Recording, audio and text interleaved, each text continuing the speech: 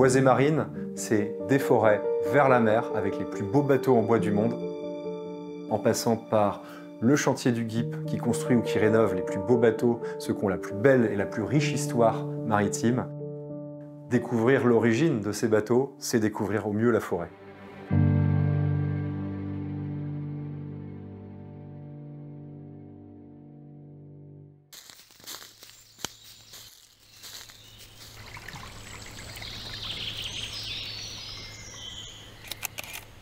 Il faut que je sois en vitesse lente. Alors tu, tu te rapproches avec ta main gauche.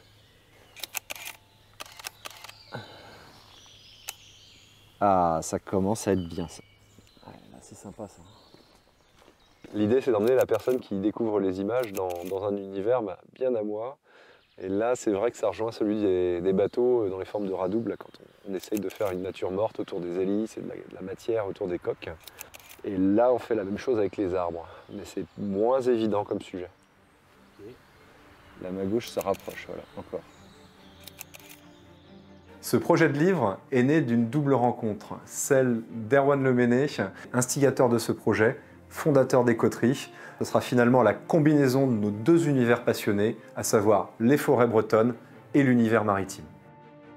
La singularité de cet ouvrage, c'est de rappeler les origines de la matière, les racines, le bois, l'écorce, le façonnage, le travail du menuisier.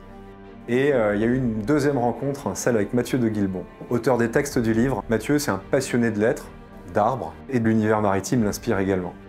De fil en aiguille, on a un peu affiné l'histoire. Nous avions finalement quatre intervenants d'exception. Erwan Leméné pour les forêts, Thierry Julio pour la partie chercheur d'arbres, Yann Moffret pour sa connaissance de la construction et la rénovation des bateaux en bois, et Marc Roux pour son esthétisme de la navigation. Pour moi, ça a été une aventure artistique absolument incroyable. Ça m'a sorti du milieu maritime, ça m'a permis de me remettre en question. La gestion de la lumière de la forêt, les virages, les, couleurs, etc. sont totalement différentes. Et finalement, ça a permis de mieux comprendre ce que je faisais en mer.